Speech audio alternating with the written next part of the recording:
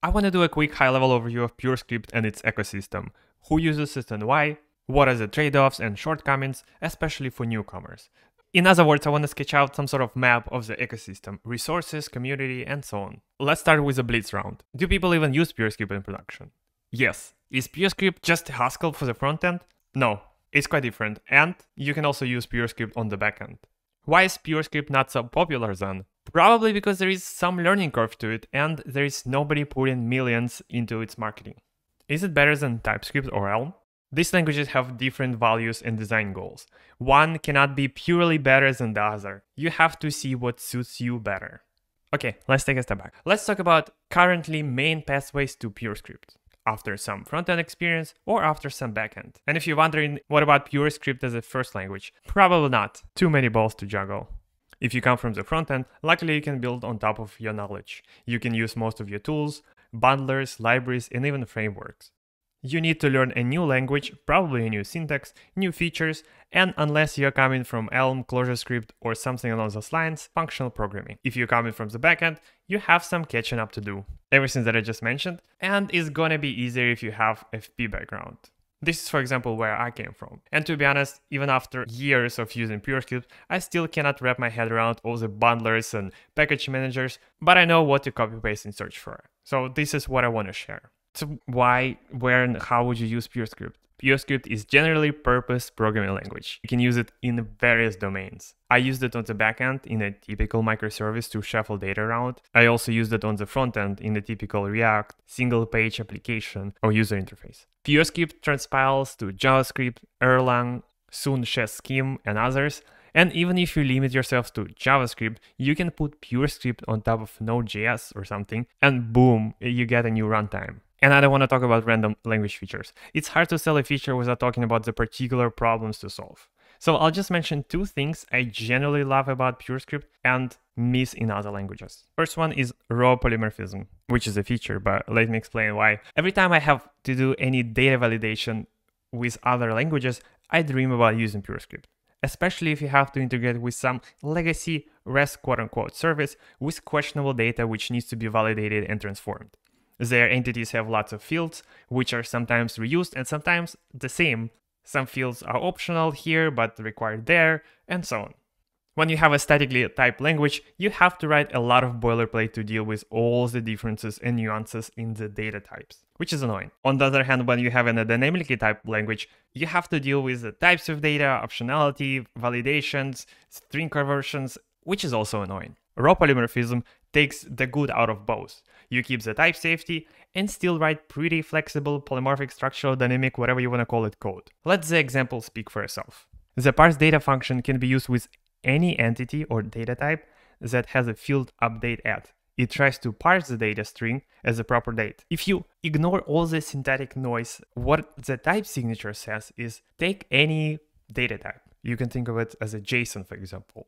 Don't care about all the fields just focus on updated at. We take it as a string, we do some validation conversion parsing and it doesn't matter, and we return as a proper maybe date. And all the rest of the field stays the same. And imagine that you have a bunch of functions like this. You can combine them like Lego blocks to deal with any data. It's amazing there is some message event, parse the data on it. It works. If you have some user that has country code and names and first names, and you want to validate and parse all of them, no problem. Parse the date first, then parse country code, then parse anything you want. If this sounds curious, check out a joy of working with JSON using PureScript on this topic. But let's move on. My second favorite thing is not a language feature. It's community. Not gonna lie, PureScript is an amazing community. It's welcoming to the beginners, hardcore enthusiasts, and everyone in between. The PureScript Discourse and PureScript Discord are both great places to ask questions and answer them. And at this point, I feel the responsibility to ask if you're an asshole, please go somewhere else. There are plenty of languages that will welcome you. And while we're on the topic of learning, uh, let's talk about resources, books, and documentation. The free PureScript by example book, which contains several practical projects, is a great resource for PureScript begin. Alternatively, you can start with a functional programming made easier book, which takes you from zero functional programming knowledge to a full stack web app written in PureScript. You can also visit the PureScript documentation repository on GitHub, where you can find articles, guides, in-depth learning resources for beginners, and more. For example, it links to PureScript cookbook, which contains various recipes for PureScript. On top of that, there are a few cool personal resources. My personal favorites are Thomas's articles, Mark's articles and guides, and Jordan PureScript reference. Another important topic is tooling. PureScript comes with excellent tooling and editor supports with mostly instant rebuilds. The recommended build tool for PureScript is Spago. When it comes to coding, you can use any of your favorite editors via purs IDE, which is an IDE server that comes with compiler, or PureScript language server, which is respects the protocol and builds on top of it. For details, see the dedicated documentation section on editor support. Pursuit is one of the coolest things. It not only hosts the API documentation, but also lets us search through it by packages, module function names, and type signatures. For example, if we search for a function that takes two types and returns a boolean, we get back equals, greater than, and so on. There is also a formatter for PureScript source code with pretty good defaults. There is no reason not to use it. For more information, see editor and tool support and recommended tooling for PureScript series on Discourse. Let's talk about some JavaScript backend specific stuff. If you import libraries from JavaScript, you need a package manager. You can use npm, which is commonly used, yarn, or whatever you want. You also need a bundler to deal with JavaScript imports, smoosh your files, and so on. You can get started with esbuild. Most popular alternatives are Webpack and Parcel, but you can probably make things work with whatever you prefer. Speaking of frontend, this is the last big topic we'll cover because it's not relevant to everyone. The most important thing to know is how to use JavaScript code with or libraries and how to integrate with JavaScript frameworks. Long story short, it's simple but boilerplatey. And first, I want to emphasize that you can mix and match JavaScript, TypeScript, PureScript, and whatever code. You can keep your old code and implement new components using PureScript. Moreover, you can migrate one piece at a time. You don't have to abandon what you have and do big rewrites. That's what happened in one of my previous companies. The JavaScript, TypeScript, React codebase over a couple of months turned into PureScript codebase. When we want to interop with JavaScript, which is also called the Foreign Function Interface or FFI for short in most of the documentations, this is what we do. The simplest way to use JavaScript code from PureScript is to give a type to an existing JavaScript value using a foreign import declaration. Let's take the square functions, for example. Here's some random JavaScript file. We export one function that takes one argument and returns the square of an argument.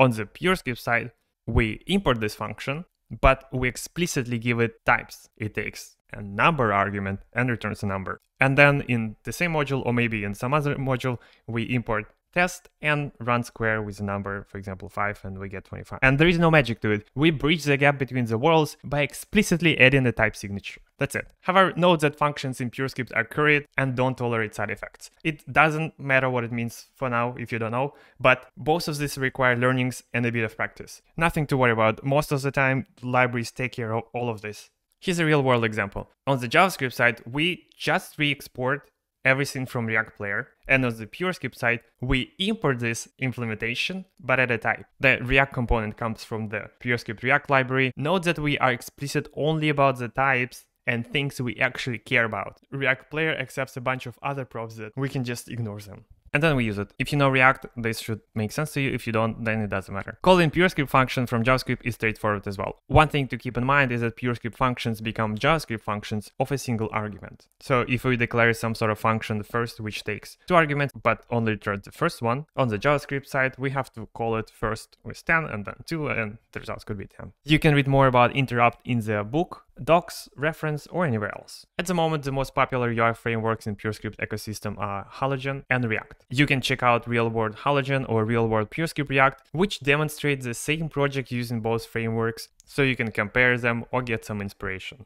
Halogen is a declarative component-based UI library for PureScript that emphasizes type safety. Here's a simple example that we can click around. We have some state and we increase, decrease it. And React is React. There's a whole React Basic family of PureScript packages, which include basic components, specific components, starter applications, hooks API, and so on. And if you wonder what about other frameworks and libraries, it depends. If you're lucky and somebody already done the work, you can use a PureScript wrapper library and don't worry about JavaScript at all. If not, then you have to do some prep work. How much depends on how rigid and highly coupled the library is. And pro tip, don't forget to check with your friends on Discord. Maybe you can collaborate with somebody. Maybe somebody done already half the work or quarter of the work. You can make your life easier. Okay, so where do we go from here? You can get started with PureScript website or getting started guide. You can start learning with free PureScript by example book, or start talking on PureScript Discord server. You can also start playing with PureScript at trypurescript.org Or last winter, together with two sets of my colleagues, we shared our experiences of using PureScript in production, and you can read about it. And last but not least, just go build some stuff.